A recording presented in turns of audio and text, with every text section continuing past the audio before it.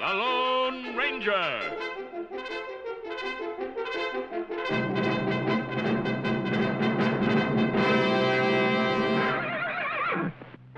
Hi-Yo Silver! Away! A fiery horse with the speed of light, a cloud of dust, and a hearty Hi-Yo Silver, the Lone Ranger. With his fearless Indian friend Tonto, the daring and resourceful masked rider of the plains, led the fight for law and order in the early West. Return with us now to those thrilling days of yesteryear. From out of the past come the thundering hoofbeats of the great horse Silver. The Lone Ranger rides again. Hi-Yo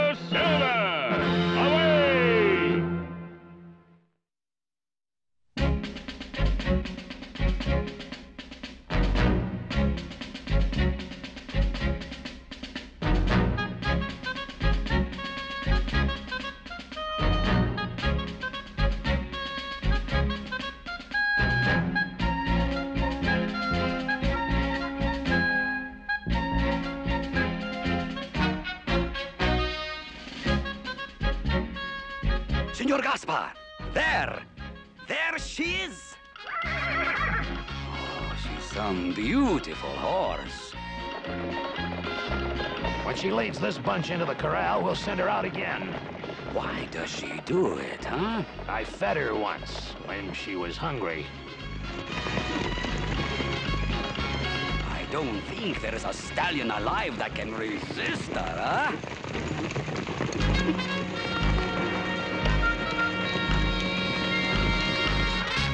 Silver, what is it, big fella? What's the matter? I don't hear anything. It's nothing real. He senses something. Kimosabe, do you know where we are? Yes, of course. Wild Horse Valley, his home. Where you first saw him? Yes, let's make camp here, up on that hill. Come on, big fella. You're in for a treat.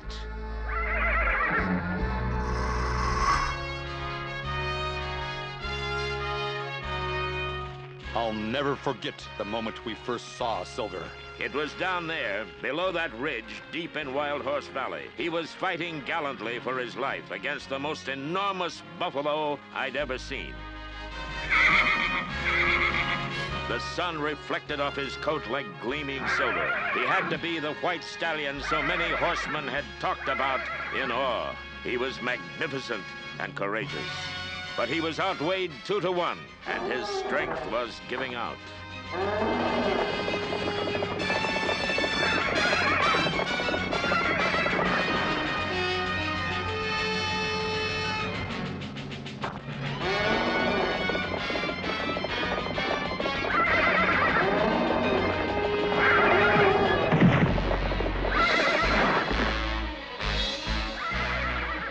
Nothing would stop me from helping this magnificent horse.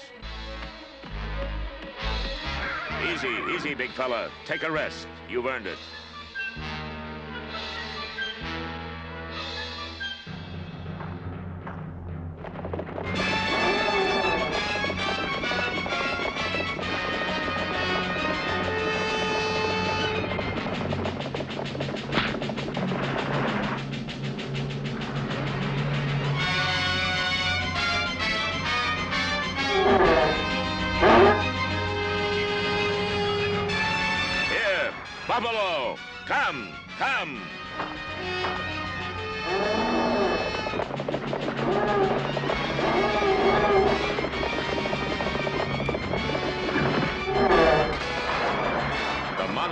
Buffalo swam away.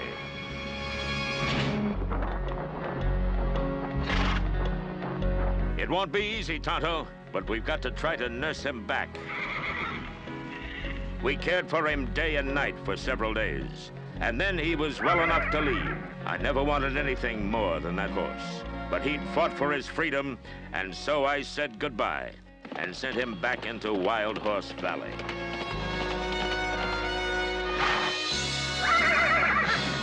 Stopped. Isn't he beautiful? His coat shines like silver. Silver.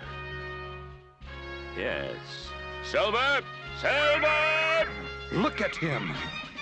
Here, Silver!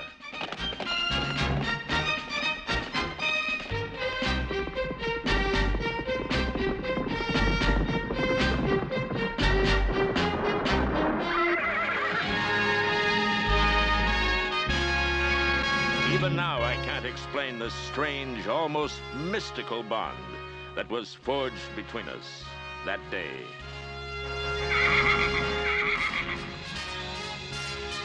He knows he's back home. Here's your surprise, my friend. Go and run among the others tonight. Visit your old home. We'll see you at sunup. Go, big fella. Enjoy your homecoming. What's the matter, Tonto? I don't know, but something's not right.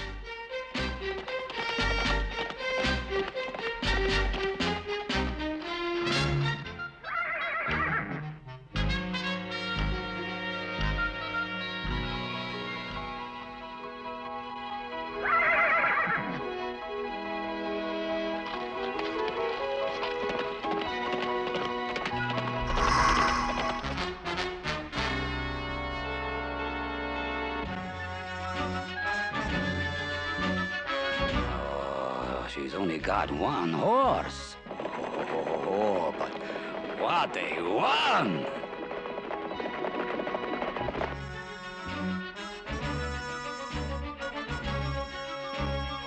Bring him right in, my pretty lady. You got us a champion here.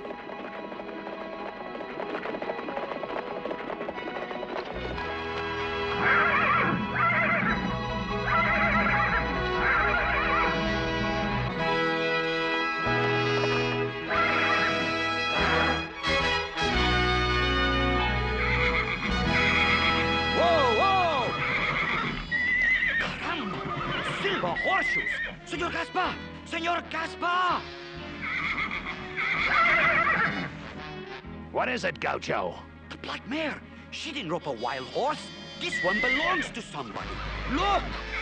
Silver horseshoes. Ah, they'll fetch a good price, and so will a horse.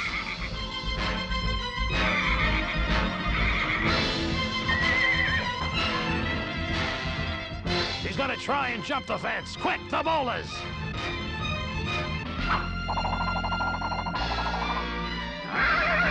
Look out!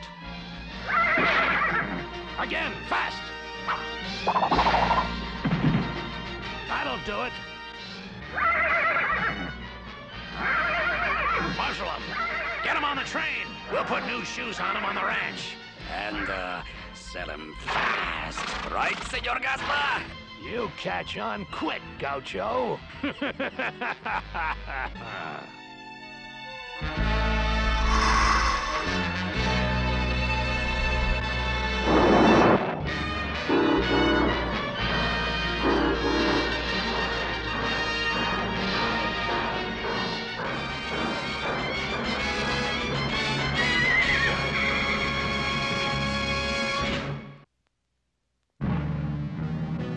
Tonto. These are tiny bits of silver embedded in the broken post. Silver was corralled and tried to kick down the fence. Yes. Thank heaven we know he's alive.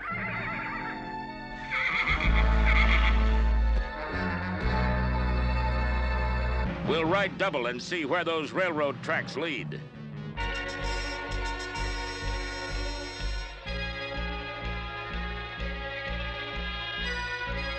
Hmm. A masked man and an Indian following the train tracks here. Gaucho, hurry up with that white stallion. Está terminado. All finished. The white stallion now has regular horseshoes, and we have the silver ones. Good work. Get him inside and keep him quiet. State your business, gentlemen. I'm looking for a horse, a white stallion. No, no white stallion here. Whole bunch of wild ponies, but no white stallion. Mind if we look around? Yeah. This is private property, mister. And you and your friend are right this moment invited to Vamoose. What are you hiding? Gaucho, A demonstration of the Argentine bolas.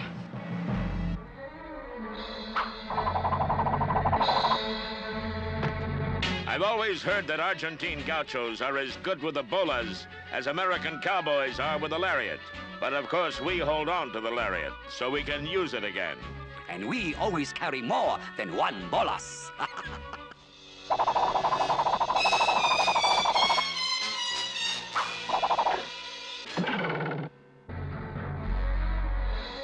Silver! Silver! I said vamoose, and I mean vamoose. Take the stallion to Judge Raleigh's and sell him. Now, the judge will pay plenty for a horse for that rotten kid of his. I said I want a horse, Father. A real horse, not a stupid Indian pony. Whatever you say, Robbie. Can he handle a good horse, Sam? Well, Judge Raleigh, boy's a little rough. You kicked his ribs pretty hard, Robbie. He wouldn't jump. Next time, I'll be wearing my pointed spurs. Only expert riders should wear spurs, Judge Raleigh. Well, Sam, if my boy isn't an expert rider, it's your fault. Yes, sir. Now, you get over to the KXX and see if Bart Caspar's got a horse good enough for my Robbie. Gentlemen, in the whole world, I think being in the right place at the right time is the most important. Caspar, I was just. I know. Take a look, Judge Raleigh. I think you'll see the very horse you want for Master Robbie. I want him. I'll enjoy teaching him who's boss.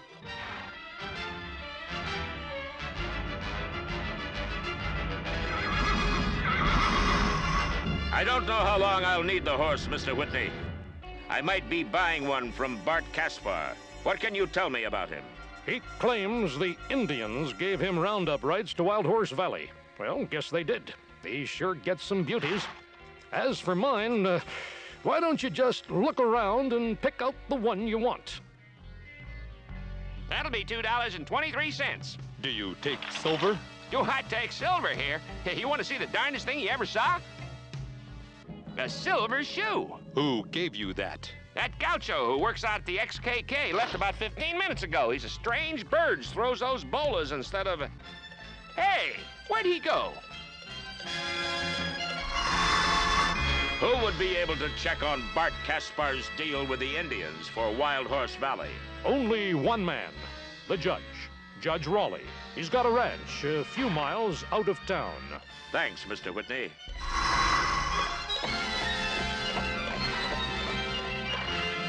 Hmm. Gaucho came this way.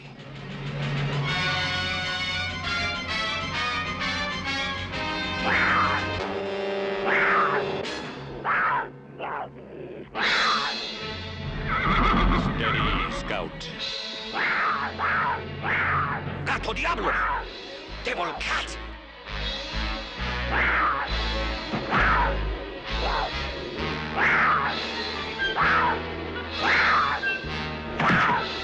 No, don't shoot him.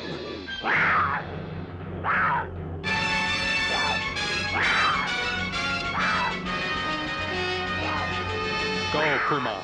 You don't like this bright light. Go. Vamos. So, you pretended to be the Indian chief. You gave Caspar the rights to the Wild Horse Valley. Rights you didn't have to give. All right, Indian. I am really sorry.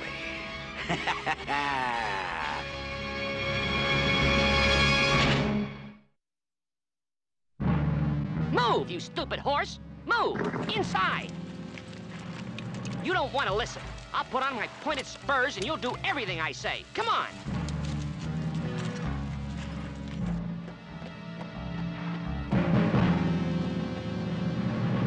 I'll check on Caspar and the Indian rights tomorrow.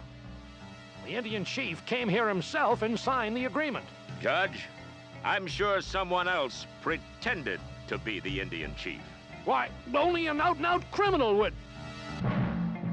I'll check my papers on the Indian rights pronto. There's a riderless horse up on the hill. Been there all day, just watching. Beautiful jet black wild mare. Almost a legend round these parts. Hey!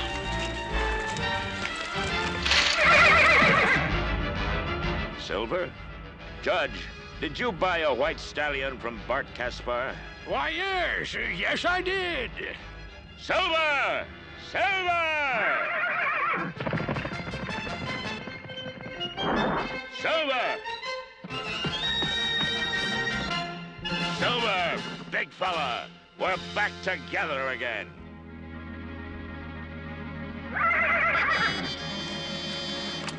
That's my horse. He's mine.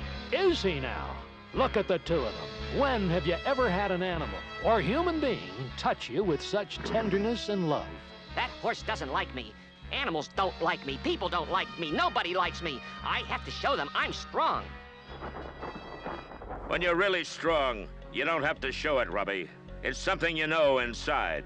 And it begins with the way you talk to others. Animals and humans respond to the sound in your voice. You don't have to yell to get attention or respect. The masked man's right, son. Hand your father the crop, Robbie, and pet Silver gently and say something softly to him. Something you really mean. Silver, you're you're very beautiful. I I I think you're the most.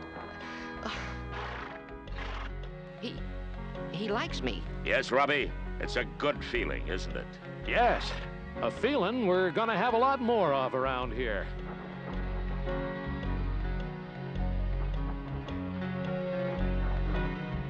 Sam, Yes, Judge? you catch me or Robbie hollering, and well, you just let us know. You hear? Now, masked man, uh, what?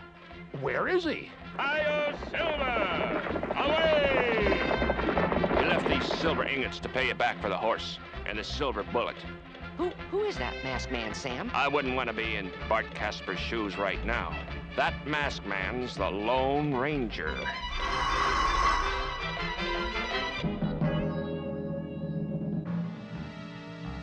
Senor Gaspar, the wild horses are in the cattle cars. Good. We're shipping them out tonight. Before the judge finds out you were the Indian chief who gave me the rights. Besides, there are no more wild horses left in Wild Horse Valley. We'll move on to the Wild Horse Valleys of New Mexico, Oklahoma, Arizona. As for the black mare, she served a purpose. I think it's time we corral her too. Hmm? Never returned to camp. He's in trouble. Let's go, big fella. Hi-Yo Silver! Away!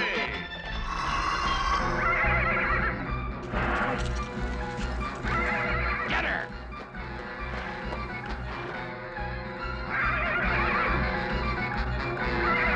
I've got her!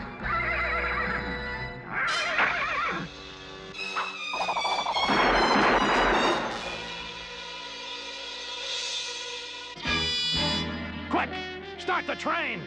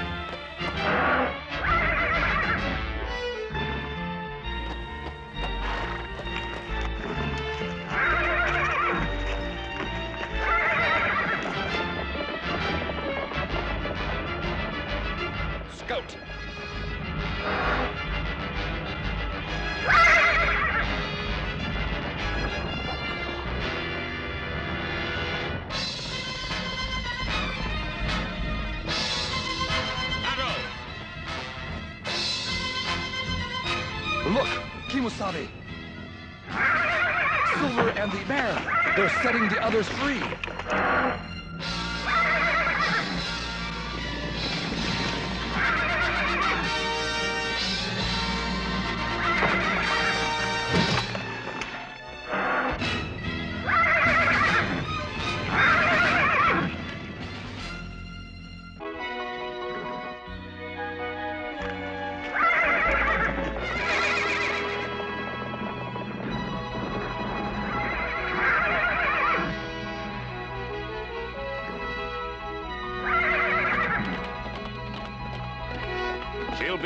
To run in Wild Horse Valley for the rest of her life.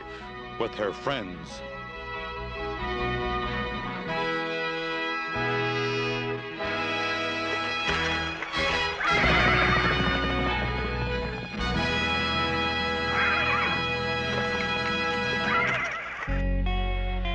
The first horse was more like a dog in size, only 10 to 20 inches high. Discoveries show that man rode horseback more than 5,000 years ago. Only 200 years ago, there were millions of wild horses in the United States.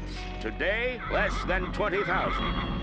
But they are all protected by congressional law. Till next time, amigos. Adios!